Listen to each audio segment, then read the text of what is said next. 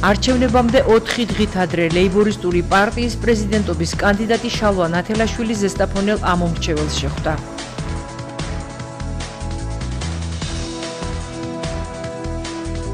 ჯანდაცვის უწყება მოსახლეობას გრიპის საწინააღმდეგო ვაქცინაციის ჩატარებისკენ მოუწოდებს.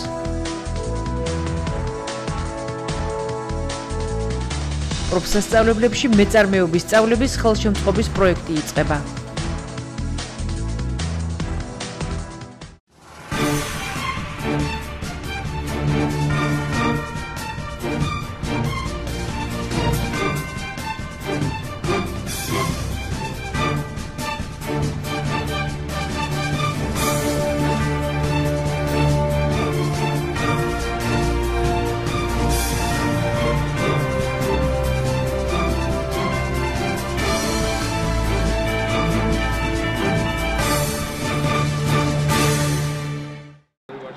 საარჩევნო მარათონი გრძელდება ზესტაფონელ ამომრჩეველს შალვა ნათელაშვილი შეხვდა. არჩევნებამდე 4 დღით ადრე ლეიბორისტური პარტიის პრეზიდენტობის კანდიდატმა ზესტაფონში არსებულ ეკოლოგიურ საფრთხეზე და ონკოლოგიური დაავადებების გაზრდილ რიცხვზე ისაუბრა. გაპრეზიდენტების შემთხვევაში კი მოსახლეობას დაპირდა, რომ ამ პრობლემებს მოაგვარებს. ზესტაფონის ფეროდან საიდანაც გამოსული მომწამლავი ნივთიერებები სასიკვდილო საფრთხეს უქმნის მოსახლეობას და ეს საწარმო ფაქტურად წარმოადგენს ქიმიურ ბიოლოგიური მოქმედების ბომბს, რომლის სავალალო შედეგები თაობებს გადასწდება.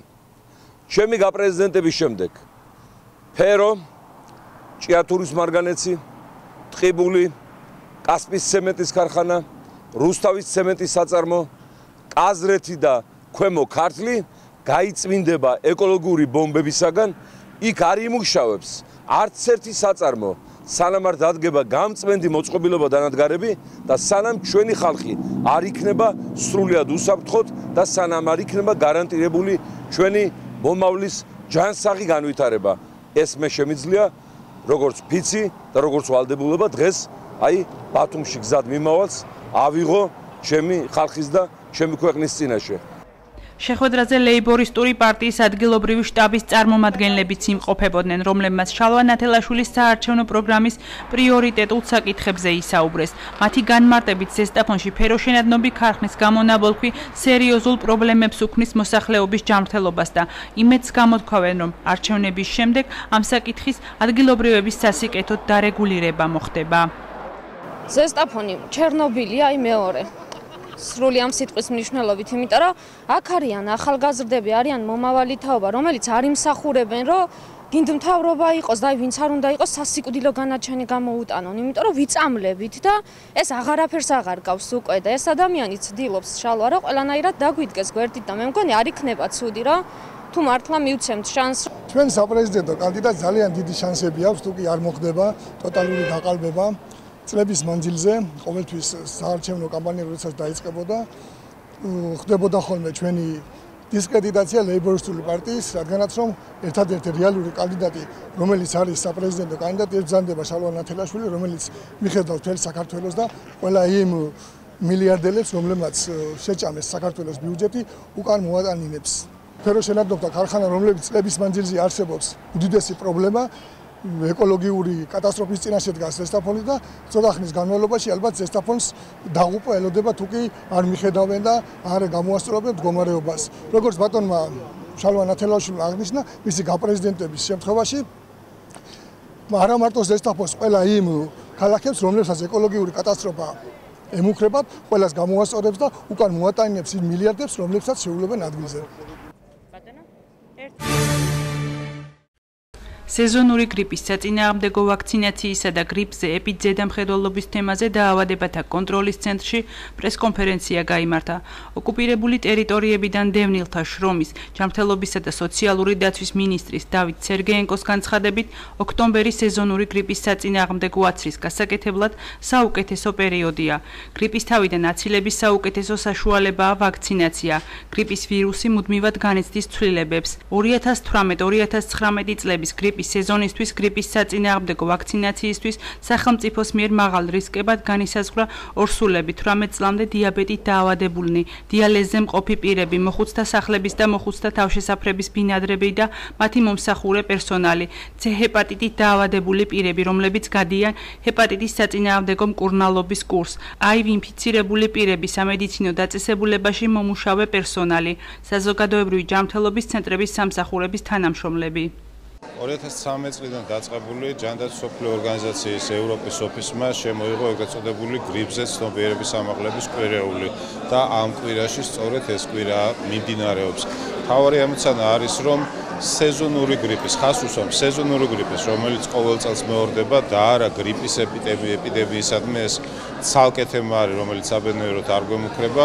სეზონური გრიპის მიმართებაში საზოგადოებას კიდევ ერთხელ აუხსნათ, რა რისკ ჯგუფებმა უნდა ჩაიტარონ ვაქცინაცია და ზოგადად როგორ შეიძლება ამ დაავადებისგან თავის დაცვა ან დაავადების შემთხვევაში მისი სწორი მართვა. გრიპის საწინააღმდეგო აცრა შეიძლება მთლიანად ამ სეზონის განმავლობაში ჩატარდეს ანუ დაწყებული ოქტომბრიდან დამთავრებული იგივე თვითონ გრიპის სეზონის დროსაც, მაგრამ საუკეთესოა თუ ის ჩატარდება ოქტომბრის განმავლობაში, იმიტომ რომ ევროპაში გრიპის ვირუსი ძირითადად ჩნდება ცირკულაციაში მე-40 კვირიდან, ანუ ოქტომბრის შუა რიცხვებიდან და შემდგომ ის თანდათან ცირკულირებს კონტინენტზე. დღესდღეობით ჯერ საქართველოში ჩვენ მოგეხსენებათ გვაქვს საკმაოდ გამართული ეგრეთ წოდებული სენტინელური ზედამხედველობის სისტემა ლაბორატორიული უზრუნველყოფით, რომელიც ლუგარის ცენტრში ტარდება გრიპის და გრიპის მსგავსი ვირუსების იდენტიფიცირება და ჯერჯერობით გრიპის ვირუსი იდენტიფიცირებული არ არის.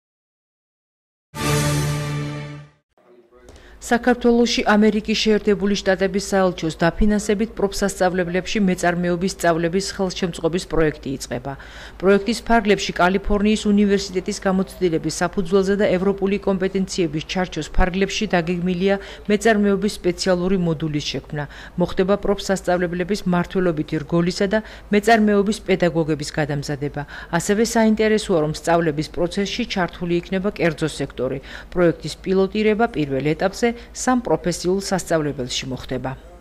ყველაზე მნიშვნელოვანი და აღსანიშნავი არის ის, რომ ამ პროექტის ფარგლებში სტუდენტების სწავლების პროცესში იქნება ჩართული დამსაქმებელი, ასევე მოხდება სასწავლო მოდულის გადახედვა და ასევე მასწავლებლების შესაძლებლობების გაძლიერება, რაც არის ძალიან მნიშვნელოვანი იმისათვის, რომ ქვეყანაში მცირე და საშუალო მეწარმეობის განვითარების კუთხით პროფესიული განათლების მიმართულებით მოხდეს ძალიან მნიშვნელოვანი ძრები, იმიტომ რომ პროფესიული განათლების სტუდენტები არიან პოტენციურად ის ადამიანები, რომლებსაც შეუძლიათ ახალი ბიზნესის წამოწყება და ასევე ძალიან მნიშვნელოვანი ინოვაციური პროექტების დაფინანსების მიღებაც იმ მექანიზმების გამოყენებით, რომელსაც სახელმწიფო და მთავრობა ქმნის ასეთი ადამიანებისათვის. პროექტს აქვს რეალურად შესასრულებელი ძალიან მნიშვნელოვანი და საკმაოდ რთული სამუშაოები, რაც გულისხმობს არამხოლოდ მეწარმეობის მოდულის განახლებას და გადახედვას, არამედ მასშტაბლობლების კომპეტენციის გაძლიერებასაც, რაც აუცილებლად დაისახება შემდეგში უკვე შედეგებზე. მნიშვნელოვანია, რომ პროფესიული განათლების კურსდამთავრებული მასწავლებლები იყვნენ ძალიან კომპეტენტურები და შეეძლოთ პასუხობდნენ არა მხოლოდ დასაქმების ბაზრის მოთხოვნებს, არამედ თავადაც ფიქრობდნენ დასაქმების ახალი ადგილების შექმნაზე. ამ პროექტის ყველაზე მნიშვნელოვანი ელემენტი, რაც უნდა გვახსოვდეს, არის მეწარმეობა, რომელიც არის ძლიერი და სტაბილური ეკონომიკის შექმნის გარანტი. ასე რომ ძალიან მოხარული ვარ, რომ ეს პროექტი ხორციელდება და ველოდები მეტ შესაძლებლობებს საქართველოს ეკონომიკის გასაძლიერებლად.